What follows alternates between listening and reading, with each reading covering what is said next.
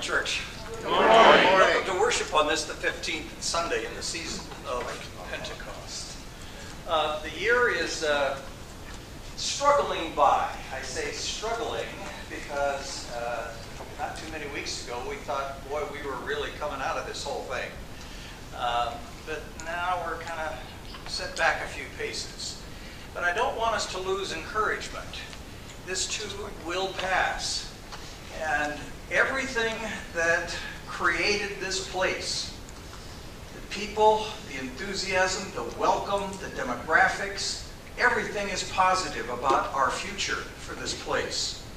So hang on to the hope and ask God to relieve us of this pandemic as soon as it is His will to do so, so that we can get on with the vitality and growth that we became so used to around here. Couple of quick announcements. First of all, uh, our Bible study occurs on Wednesday morning at 8:45, uh, both in person and via Zoom. Now we've had, uh, I think, about six people coming uh, on site, um, and then another seven or eight uh, via Zoom. So if you'd like to participate in that, uh, look for the announcement that will come out probably on Tuesday that gives you instructions how to connect to the Zoom um, feature. Secondly, uh, you may not know this, um, especially if you didn't listen to my update this past week, but you know we've had 13 new members this week or this year in the face of uh, a pretty um, difficult circumstance. And we've got um, four or five more who've expressed an interest. So um, I am going to be scheduling, and it'll be uh, communicated soon, uh, the next uh, prospective new members class, October the 10th. So um, you can pass that around, let people know that uh, if they're interested to come and sit in on that. And of course, everybody is welcome to sit in on it because you'll learn something, I think.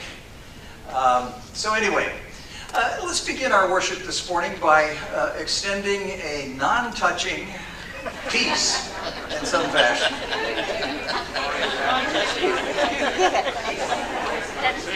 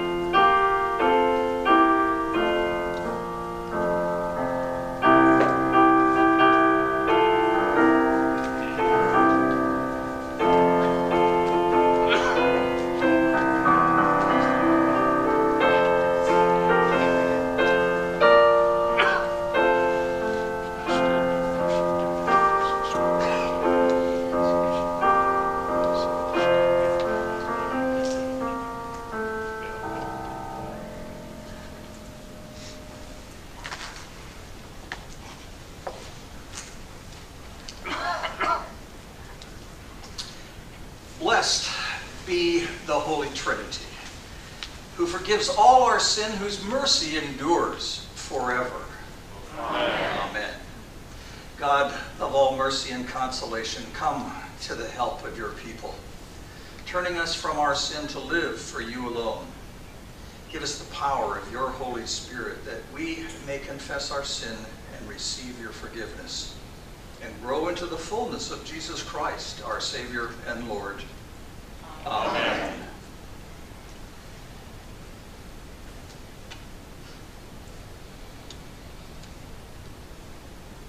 Confess our sin before God and before one another.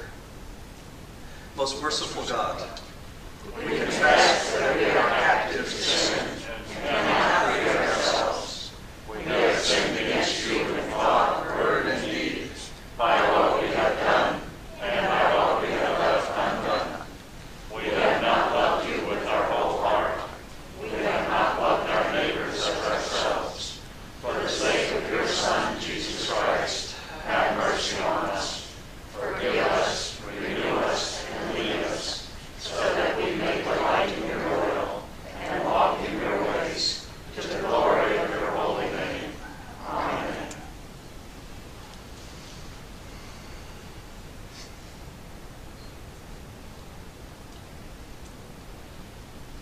The mercy of Almighty God. Jesus Christ was given to die for us, and for his sake, God forgives us all our sins. As a called and ordained minister in the Church of Jesus Christ, it is my privilege to be able to declare to all of us here today that our sins have been forgiven in the name of the Father, and the Son, and the Holy Spirit. Amen. Amen. Let's join our voices together at our opening hymn today, Praise to the Lord the Almighty.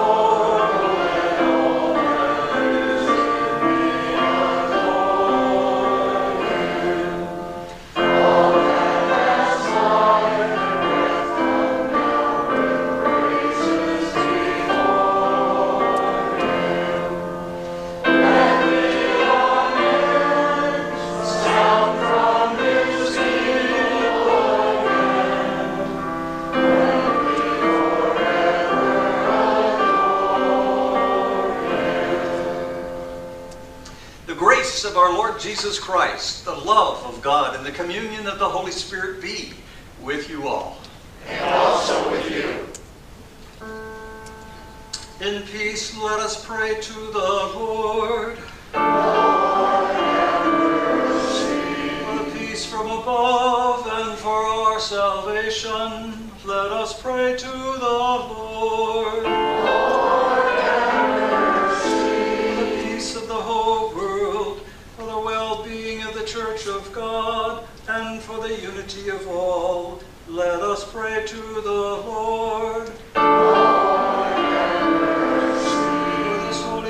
House, and for all who offer here their worship and praise, let us pray to the Lord. Lord, have mercy. Help, save, comfort, and defend us, gracious Lord. This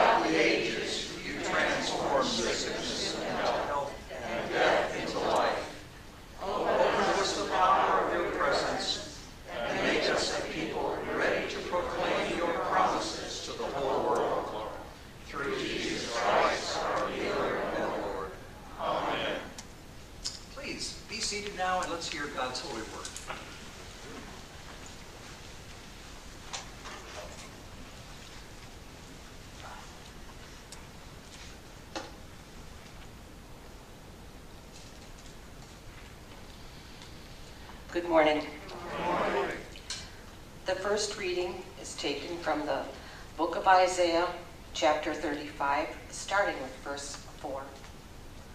These verses are a word of hope to the exiles in Babylon.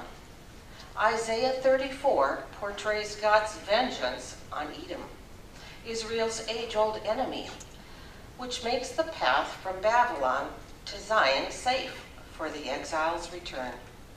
The desert itself will flow with water to give drink to the returning exiles. The reading. Say to those who are fearful of heart, Be strong, do not fear. Here is your God. He will come with vengeance, with terrible recompense. He will come and save you. Then the eyes of the blind shall be opened, and the ears of the- deaf unstopped.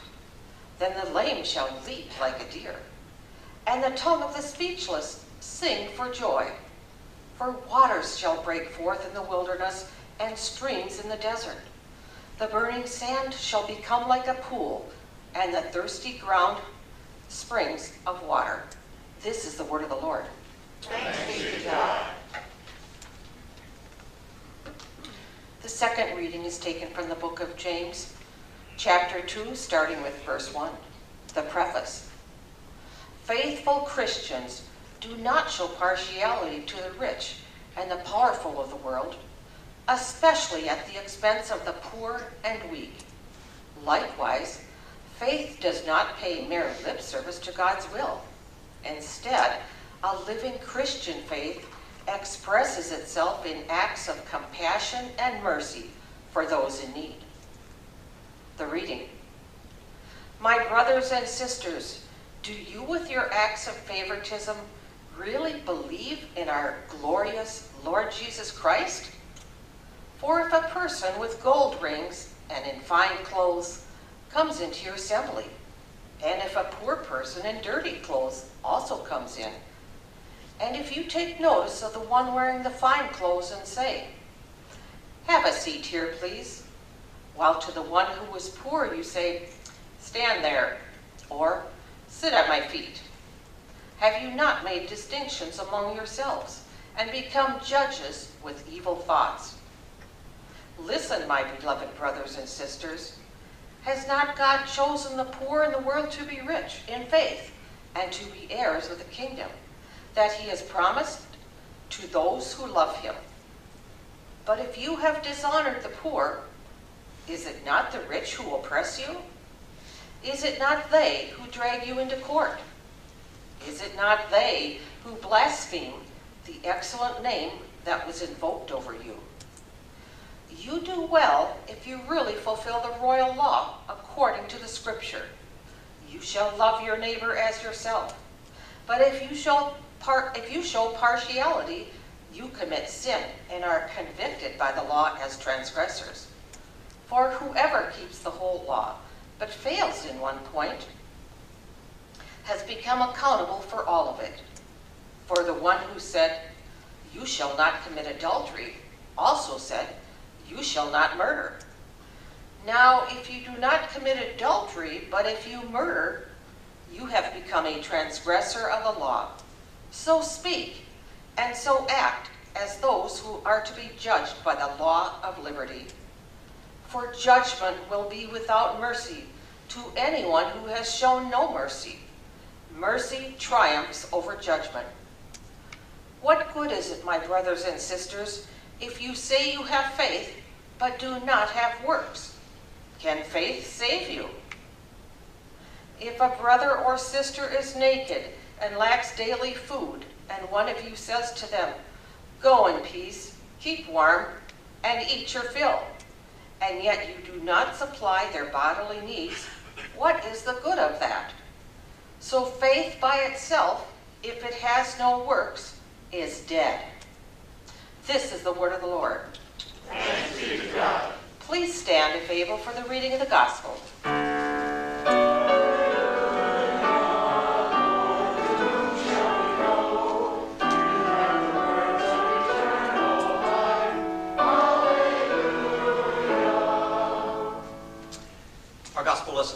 From the gospel writer Mark is a lesson about listening. And there are some things that we listen to when we read these scriptures that um, maybe we misinterpret from the first time.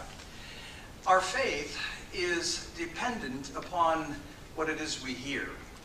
And in order to hear God's word, we have to be open to how it is conveyed to us. The gospel, as it's recorded in the seventh chapter of Mark, beginning in the 24th verse. Glory to you, O Lord. From there, he set out and went away to the region of Tyre. He entered a house and did not want anyone to know he was there. Yet he could not escape notice. But a woman whose little daughter had an unclean spirit immediately heard about him, and she came and bowed down at his feet. Now the woman was a Gentile of Syro-Phoenician origin. She begged him to cast the demon out of her daughter. He said to her, Let the children be fed first, for it is not fair to take the children's food and throw it to the dogs. But she answered him, Sir, even the dogs under the table eat the children's crumbs. And then he said to her, For saying that, you may go. The demon has left your daughter. So she went home, found the child lying on the bed, and the demon gone. A second story. Then he returned from the region of Tyre and went by way of Sidon towards the Sea of Galilee in the region of the Decapolis. They brought to him a deaf man who had an impediment in his speech, and they begged him to lay his hand on him. He took him aside in private, away from the crowd, and put his fingers into his ears. And he spat and touched his tongue, then looked up to heaven. he sighed and said to him, Ephphatha, that is, be opened. And immediately his ears were opened, his tongue was released, and he spoke plainly. Then Jesus ordered them to tell no one, but the more he ordered them, the more zealously they proclaimed it. They were astounded beyond measure, saying, He has done everything well. He even makes the deaf to hear and the mute to speak. This is the gospel of the Lord. Praise to you, O Christ. Well, how, how well do we listen? Uh, our message today is all about our faith is dependent upon what we hear from the Lord, what we hear from Scripture, what we hear from the Holy Spirit.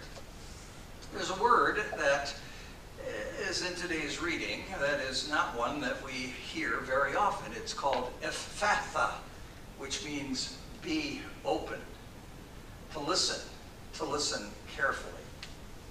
So let me start with a question. How well do you hear? Um, at times, we've all got a problem with this, I think.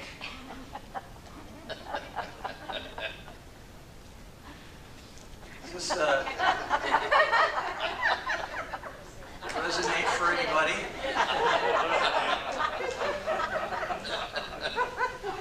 So, so wives, you've got a new word now that you can utter to your husbands. Ephphatha. Be open. Listen to what it is I have to say. Today's gospel lesson gives us two examples of how do we hear and what is the outcome of hearing clearly. The first story is a very familiar one. Um, it's about the Syrophoenician woman. Syrophoenicia, an, an area in Tyre in Gentile country. And we remember enough to know that uh, to the Jew, the Gentiles were unclean people. They were outcast people. And so this Syrophoenician woman that Jesus is encountering is one that the Jews would never countenance him encountering, uh, to, to spend no time with her. And what is it that, that she comes to him to say? And this is where we have a problem with our 21st century way of hearing. And um, what is it she's asking? Well, she's asking for healing for her daughter who is possessed. And Jesus' response is difficult through our 21st century lens. And what is it that he says to her? He says, Let the children be fed first. It is not fair for children's food uh, to take the children's food and throw it to the dogs. Now, is that the Jesus that we think of? Denying this woman's plea for help? Part of our problem is we don't understand what was being said in the original language in this text. For example, let the children be fed first refers to the Jewish people. Those who heard the word first, and what was their response to hearing the word first? They rejected it. They rejected it. We don't throw our food to the dogs. The implication here is that the woman and her daughter are dogs. Well, in the translation out of the Greek, the word dogs that we translate can mean pets. That's a whole different connotation, isn't it? Than some wild, unruly, messy, dirty dog. A pet is quite the opposite of that. So here Jesus say this, let the children eat first. We don't give food to the dogs. Let the Jews accept the word of God first. And we don't throw our food away. We don't throw it to the dogs. We'll give it to our pets. And then the woman quite courageously says what? Basically, uh, says, but yes, even, even the dogs eat what's left Well, another thing worth knowing is that in ancient times, in Jesus' time, when people ate a meal, they ate with their hands, they didn't have implements, they ate their meat with their hands and they ate it first. Imagine that. After eating the meat and having your hands all greasy, they took the bread and cleaned their hands with the bread. Kind of like barbecue.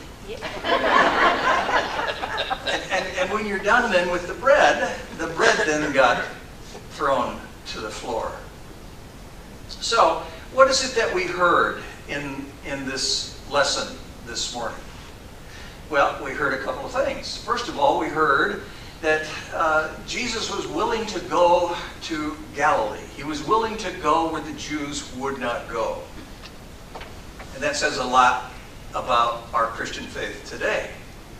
It says that we are called to go where others will not go. You know, uh, some years ago, I, I was a uh, Harley Davidson rider. And every year I would go out to Daytona Beach to uh, Bike Week. All the necessary leather stuff all over me. And I viewed it as going to Babylon. You know, here I am, this righteous Savior, this righteous warrior of God, going out to the unwashed. And um, actually was able to do, I think, a lot of good, what I call guerrilla, G-E-U-R-I-L-L-A ministry. You know, I had a, a vest that I've described to you before that had on the one uh, shoulder a Vietnam veterans patch, and on the other shoulder, the Christian fish. And as you'd walk down the street with uh, people with beers in their hands, and they'd see this, and they'd say, Welcome home, brother. And thank you, I would say, and I point to the other side and say, I'm not home yet. That spawned conversations oftentimes or a hasty retreat. but, you know, to have a conversation with somebody, to be able to articulate a solution, an answer to a question they might have had all their lives, was a very satisfying thing to do. And questions would come that um, obviously came from people who had no experience in a church or any religious upbringing whatsoever. Questions like, is there really a hell? Is there really forgiveness for people who have been imprisoned? I mean, basic questions that are all answered with our Lutheran theology of grace. And so, what did I hear? I heard people who wanted to know, but were maybe not accepted by the general church community. That's one of the things that we're hearing from the Syrophoenician woman story. A woman considered unclean, um, not a Jew, uh, in her homeland of the Gentiles. Jesus went there. He engaged her. He, he, he let her know that he had compassion for her because he did feed her. He did feed her. And how did he heal his daughter? He Told his, his uh, encounter with the woman, go home, your, your daughter is healed. Um, I think it's important for us to remember that in this per, uh, particular story, when, when we hear words like dogs, um, we want to be careful ourselves not to label pejoratively people today. We don't want to compartmentalize people as dogs. Um, we need to view them as Jesus did, as, as pets, loved and welcome into our home. The second story is a story um, also about learning and hearing, and it's about deaf man. I think it's important for us to understand that in the um, first century, um, it wasn't a visual community. You know, if you think about our community, you look around and the first thing that strikes you is all of the imagery that's around us.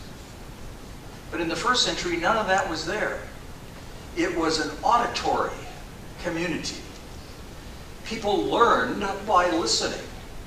And if you couldn't hear, it was an especially desolate place and time to be in. And so here we have the story of, of some friends who approached Jesus. Why did they approach him? Because they had heard about his healing abilities. And what did Jesus do? First of all, he puts his fingers in the ears of the deaf man. And then he does something that when we read it, we hear it in a, a kind of a repulsive way. He, he spits on his fingers. And th- then he touches the them and he looks up to heaven. Well, we today have lost the significance of the meaning of saliva in the first century. Now, they didn't have antibiotics. They didn't have medicines to heal things. Saliva was viewed as a healing liquid. Uh, and it still today has healing properties to a limited degree. So what Jesus did for this man was, uh, who the rest of society had uh, dismissed because not only was he deaf, he was mute. And he's mute uh, because he was unable to learn anything, to know how to relate to anybody. Maybe we have that tendency today when we encounter a deaf person uh, who doesn't communicate. Um, do we assume that the person is just ignorant? Or do we assume that um, they are restricted from being able to have the inputs that we all have, to have compassion for, and to do whatever we can to help that, that person? Um, the key message, I think, in this particular lesson is that Jesus is willing to engage those who others would not. And he was willing to uh, engage this man who was a friend of others as a friend. So, what we see in both of these stories is that Jesus encountered the people who were the outcasts and he invited them in. He listened to them. He healed them. He took care of them. He fed them. He, he cared for them. And that is the lesson that we all should take. It's a simple lesson, really, and I'm sure many of you are already pretty adept at being compassionate and caring for people. So, what do you hear? Ephphatha, be open. Be open to other people. Be open to their needs. Be open to how you might engage them and to share the love of Christ in Jesus' name. Amen.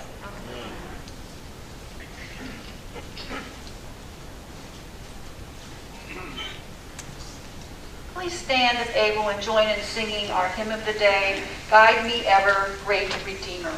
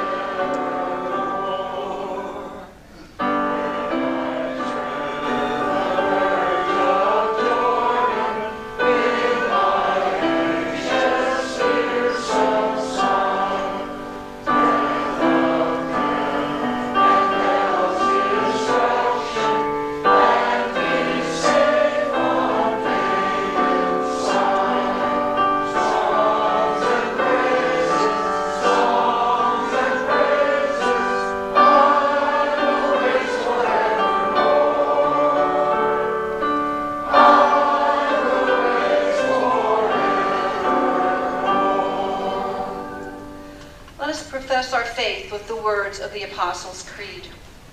I believe in God the Father Almighty, creator of heaven and earth.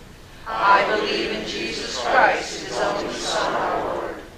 He was conceived by the power of the Holy Spirit and born of the Virgin Mary. He suffered under Pontius Pilate, was crucified, died, and was buried. He descended into hell. On the third day he rose again. He ascended into heaven and is seated at the right hand of the Father. He will come again to judge the living and the dead. I believe in the Holy Spirit, the Holy Catholic Church, the communion of saints, the forgiveness of sins, the resurrection of the body, and the life everlasting. Amen. Please be seated for today's prayers. Made children and heirs of God's promise, we pray for the church, the world, and all in need. Holy One, you bring your people together in worship. Enliven your church. Guide all evangelists, preachers, prophets, and missionaries, especially Don and Ken Bishop, who seek to share your love through word and deed. Lord, in your mercy. Provide water for thirsty ground and sunshine to feed hungry plants. Bless all who advocate for healthy forests, unpolluted air, and clean waterways. Inspire all people to show care for the world you have made. Lord, in your mercy. You show no partiality. Increase justice in all nations. Encourage leaders and governments to work with one another for the good of our common world. Especially we celebrate Labor Day this weekend. Unite us in seeking the health, safety, and dignity of all. Lord, in your mercy. You accompany those who are most in need. Shelter all fleeing violence or prosecution. Protect any who are in danger and sustain them through uncertain and unstable times, especially those in Afghanistan. Lord, in your mercy. You heal the sick, especially heal those listed on our printed prayer list, all those suffering with COVID, and we add Ed Posniak and William Montgomery to our list this week. And those we now bring before you with our spoken word or in the silence of our hearts. Ken Rowley. Lord, in your mercy, you comfort those in need. Especially we lift up those impacted by recent hurricanes, flash floods, tornadoes, wildfires, and droughts. Watch over the thousands of responders working tirelessly to aid these people. Lord, in your mercy. You support the work of your disciples. Continue to nurture the leadership and ministries of this congregation. Lord, in your mercy. You embrace all who have died in the faith and brought them into your glorious presence. We especially pray this week for the Nancy Corbin family. Uh, that is Dee Foley's sister who passed away this week. We thank you for their example and rejoice in their lives. Lord, in your mercy. Receive these prayers, O God, and those in our hearts, known only to you. Through Jesus Christ our Lord, as all of God's people say, Amen. Amen. The peace of Christ be with you always. At this time, I've- uh, when we generally would place the um, uh, offering plate, I'd like to offer a thank you for your continued support and generosity as you have shared your, some of your blessings with Rock of Ages. Um, Whether your donation is by electronic, cash, check, um, your faithfulness is greatly appreciated.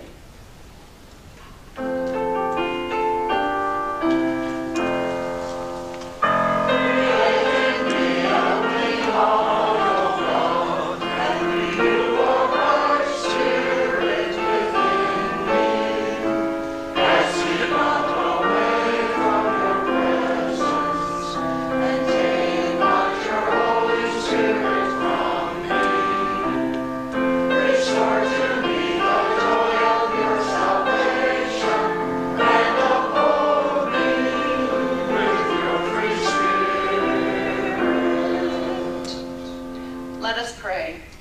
God of all creation, all you have made is good, and your love endures forever. You bring forth bread from the earth and fruit from the vine. Nourish us with these gifts, that we might be for the world signs of your gracious presence in Jesus Christ, our Savior and Lord. Amen. Amen.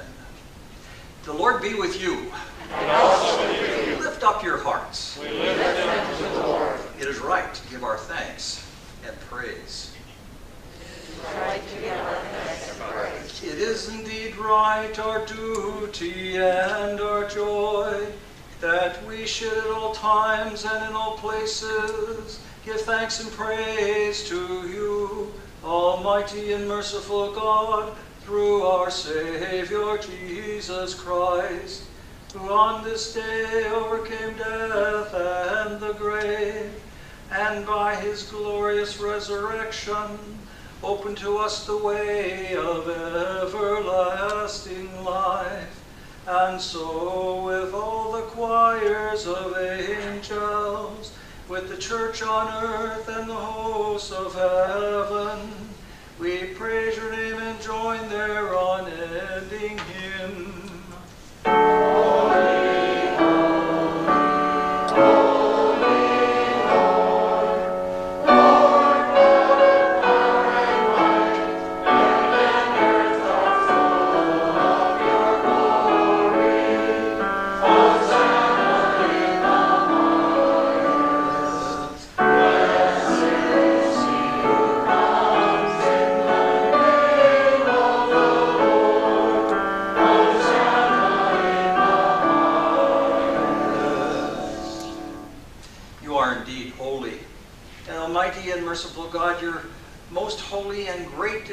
Majesty of your glory.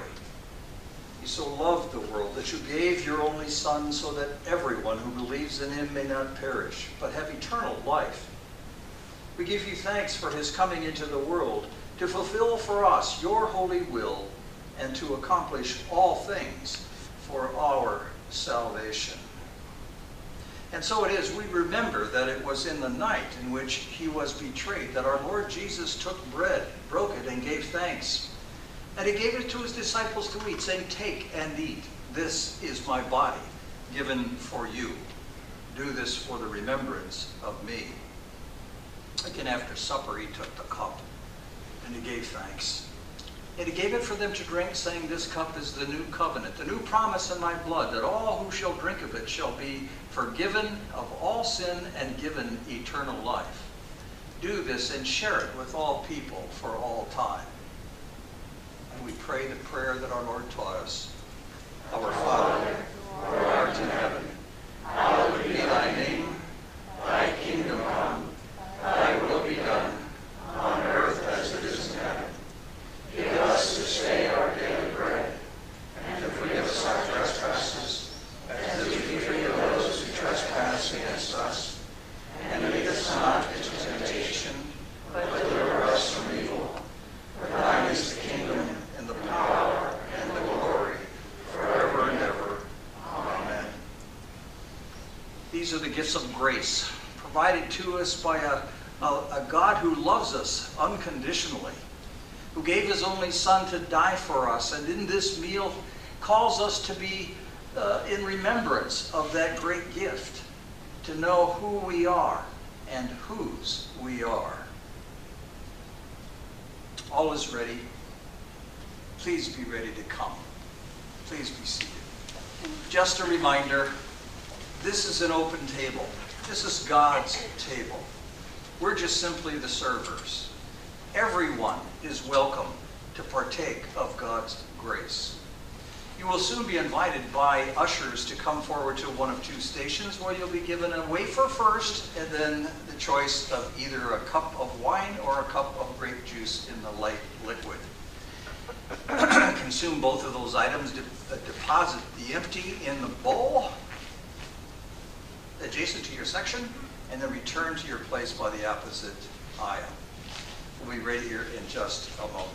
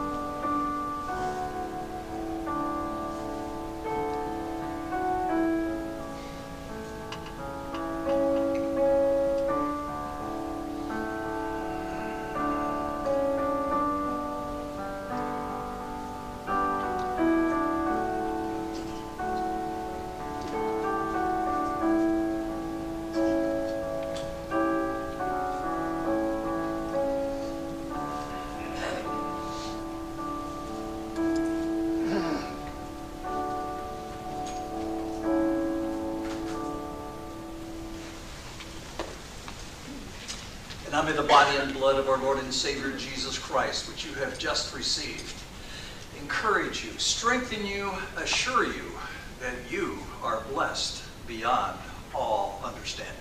In Jesus' name. Amen. Amen. Let us pray.